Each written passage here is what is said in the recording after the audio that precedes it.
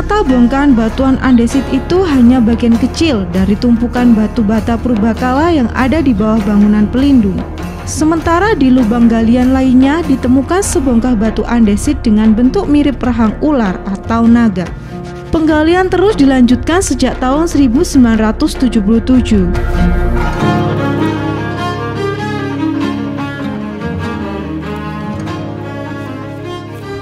Pernah juga ditemukan uh, kepala tengkorak manusia di sekitar uh, situs Candi Minajimbo. Nah, dari penemuan uh, tengkorak kepala manusia itulah masyarakat bertambah yakin bahwa memang benar ini adalah Candi Minajimbo. Tempat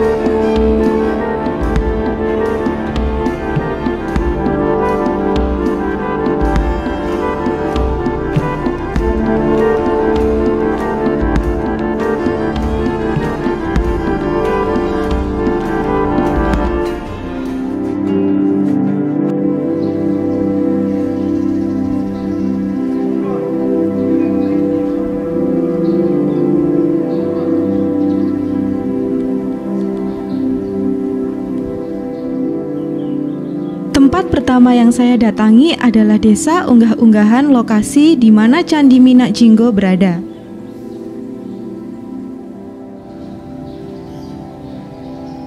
Nama Minak Jinggo mengingatkan saya pada seorang tokoh yang sakti mandraguna dari Kadipaten Blambangan, sekarang Banyuwangi. Nama Minak Jinggo begitu populer, khususnya bagi mereka yang tinggal di Jawa Timur. Tak hanya kondang, Minak Jinggo juga diadopsi menjadi nama merek rokok.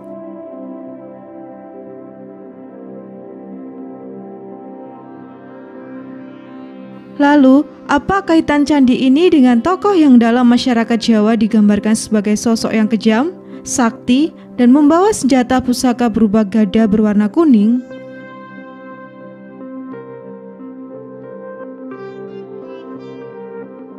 Kini di lokasi ditemukannya Candi Minak Jinggo yang namanya Arca bersayap itu sudah tidak ada lagi. Arca itu sekarang berada di Museum Purbakala Trowulan.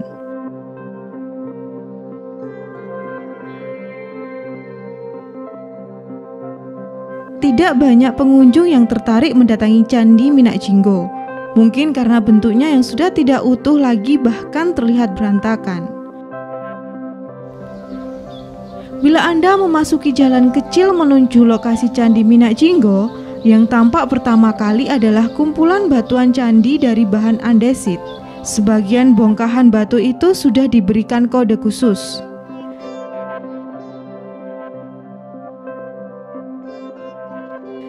Di sebelahnya lagi terdapat beberapa lapis tumpukan bongkahan batu candi yang sudah berlumut. Bila diperhatikan pada bongkahan-bongkahan batu itu, berhiasan relief cantik yang hingga kini belum pernah ditafsirkan oleh para arkeolog Indonesia.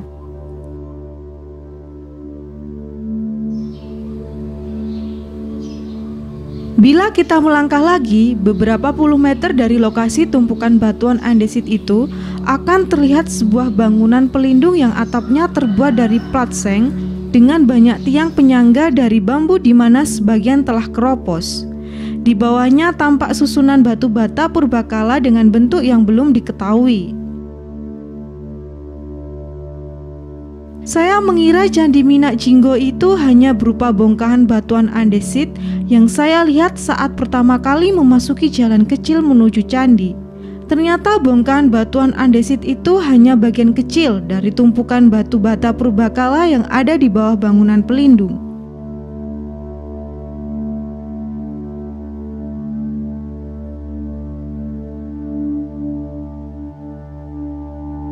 Sementara di lubang galian lainnya ditemukan sebongkah batu andesit dengan bentuk mirip rahang ular atau naga. Penggalian terus dilanjutkan sejak tahun 1977.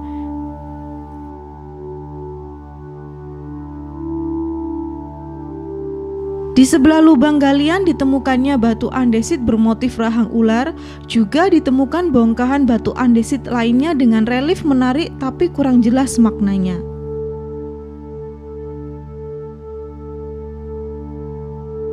Meski wujud candi Minajinggo yang sebenarnya masih menjadi tanda tanya di antara para arkeolog, namun keberadaan bongkahan batu andesit itu justru menunjukkan kalau candi Minajinggo itu unik dan berbeda dari semua candi Majapahit yang umumnya terbuat dari batu bata merah. Menurut dari uh, legenda cerita rakyat, dulu pada penggalian pertama tahun 1977 itu pernah ditemukan tiga arca yang uh, arca dua wanita dan yang satu arca laki-laki lah arca laki-laki inilah oleh masyarakat sekitar itu dikira arca Minajiko nah, dari uh, temuan ketiga arca itu uh, masyarakat sekitar menyimpulkan bahwa candi ini adalah uh, candi Minak Jinggo yang dulunya pernah uh, digunakan sebagai tempat ibadah atau ritual. Minak Jinggo nama uh, yang sebenarnya Minak Jinggo itu adalah uh, Breh nah uh, dia dikasih apa namanya uh, dikasih kedudukan uta atau uh, dikasih kekuasaan untuk memimpin di daerah wetan yaitu daerah uh, Blambangan. Nah, uh, sebelum dia dikasih uh, apa namanya uh, untuk memimpin di wilayah sana itu dia diberi gelar uh, Minak Jinggo. Nah, Minak Jinggo itu adalah uh, adipati yang sakti mandraguna. Dia tidak bisa mati kalau tidak dibunuh dengan senjatanya sendiri, yaitu uh, berupa besi bodoh kuning. Nah, uh, Minak Jinggo dia merasa tidak bisa mati sehingga dia mempunyai sifat angkoromuko jadi uh, semua pendekar-pendekar yang ada di pulau tanah Jawa khususnya di Mojopahit dia tidak ada yang berani dengan Minak Jinggo nah terus uh, setelah Minak Jinggo itu memimpin di uh, daerah Banyuwangi. Nah, itu dia mempunyai keinginan untuk memperistri Ratu Mojopahit. Yang pada waktu itu uh, dipimpin oleh seorang ratu yang bernama Ratu Poncolong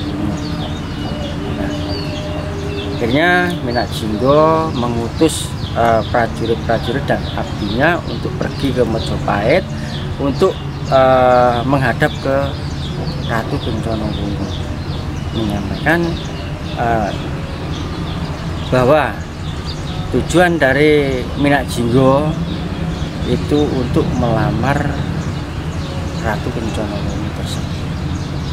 Nah, karena Ratu Kencono Wungu itu tahu bahwa Minak Jinggo itu masih ada hubungan darah dengan keluarga dari uh, Mojopahit akhirnya lamaran itu ditolak gitu.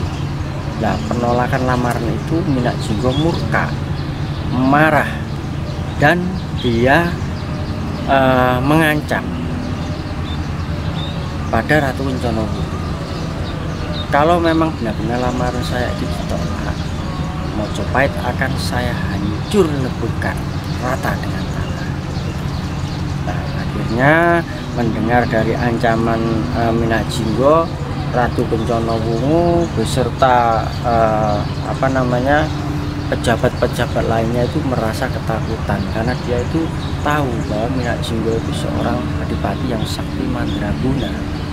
Nah, akhirnya uh, Ratu Kencana Wungu mengadakan sayembara yang intinya barang siapa yang dapat mengalahkan adipati Blambangan yaitu Minyak Jinggo kalau dia seorang e, wanita dia akan saya jadikan saudara saya. Kalau dia seorang laki-laki dia akan saya jadikan suami saya. Nah akhirnya banyak pendekar-pendekar uh, yang mengikuti sayembara tersebut. Tapi apa yang terjadi sayembara sudah uh, berjalan banyak pendekar-pendekar yang mengikuti uh, sayembara dengan tujuan bisa mengalahkan uh, adipati Belambangan yaitu Minak Jinggo tapi hasilnya nol. Nah mendengar pendekar-pendekar uh, yang banyak berjatuhan yang intinya gagal untuk uh, membawa Minak Jinggo ke Mojopahit nah, ketakutan dari Ratu Kencana semakin panik semakin tinggi. Bagaimana nanti nasib uh, rakyat saya nasib kerajaan Mojopahit ini? Seandainya uh, semua pendekar itu terkalahkan dengan Minak Jinggo tidak ada yang bisa menandingi Milat Jinggo. Nah, akhirnya muncullah seorang pemuda tampan eh, dia kesehariannya itu buruh merawat kuda mencari rumput dan sebagainya. Akhirnya dia menghadap ke Ratu Bencono untuk menyampaikan bahwa dia saya ingin mengikuti sayembara yang uh, apa namanya uh, yang ratu sudah sebarkan akhirnya pemuda itu berangkat ke Belambangan dia adalah uh, ternyata pemuda tampan itu juga masih ada terah darah dari Mojopahit Nah, pemuda itu akhirnya pergi ke Belambangan untuk uh, menghadap ke Minak Jinggo dan melakukan sebuah pertarungan. Sampai di sana akhirnya Damar Wulan bertemu ke uh, pada Minak Jinggo dan menantang untuk adu kekuatan, adu ini. Nah, setelah uh, satu hari satu malam Damarwa sama Minak Jinggo bertarung nah, posisi dari Damarwan pada saat itu merasa terpojok terjepit hampir saja dia mati.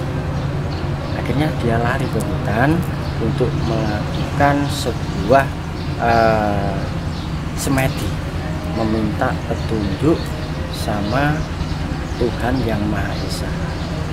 Dalam semedinya itu bertemu seorang kakek tua dan ternyata dia adalah kakek dari Damarwula yang bernama uh, Tunggul Manik.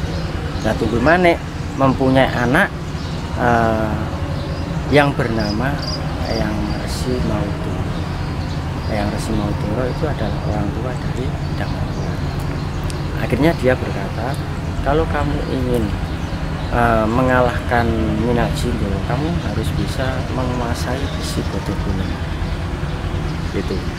Nah akhirnya Damar Wulan mencari cara bagaimana saya itu bisa memiliki besi kuning uh, yang diandalkan oleh adik-adik akhirnya dari uh, ketampanan wajah Damarwulan dimanfaatkan untuk mendekati kedua istri Minajinggo yang bernama Sulta sama uh, Akhirnya uh, hari demi hari pendekatan itu sudah uh, mempunyai titik terang. Nah, akhirnya kedua istri Minak Jinggo itu merasa ada rasa jatuh cinta dengan Damar Wulan dan ingin diperistri oleh Damar Wulan tersebut. Nah, akhirnya kesempatan itulah dipergunakan oleh Damar Wulan untuk berpura-pura mau memperistri dari kedua istri Minajingo tapi dengan satu syarat kalau memang benar-benar kamu itu uh, ingin aku beristri ada satu syarat. Kamu harus bisa mengambil atau mau mengambil pusaka Minajingo yaitu isi botol kuning. Setelah itu serahkan kepada saya. Setelah itu kita nanti kamu akan saya jadikan istri. Akhirnya malam harinya itu uh, Minak Jinggo itu dikasih minum-minum sama uh, Sita dan Buyengan sampai dia itu mabuk nah uh, setelah Minak Jinggo itu merasa mabuk dan tertidur puas nah di saat itulah kedua istri Mbak Jinggo itu mengambil besi goto kuning dan diserahkan ke Damar Wulan. Nah, setelah Damar Wulan memiliki besi goto kuning, akhirnya dia uh, menantang lagi untuk bertarung sama Mina Jinggo. Nah, pertarungan itu akhirnya terjadi. Nah, tidak lama Mina Jinggo itu terbunuh terbunuh dan kepalanya dipenggal dibawa ke Mojopahit sebagai bukti bahwa Minak Jinggo benar-benar sudah mati. Tuh. Jadi uh, setelah kepalanya dibawa ke Mojopahit, lah uh, kepalanya itu keesokan harinya kepalanya itu dicandikan di sini. Tuh.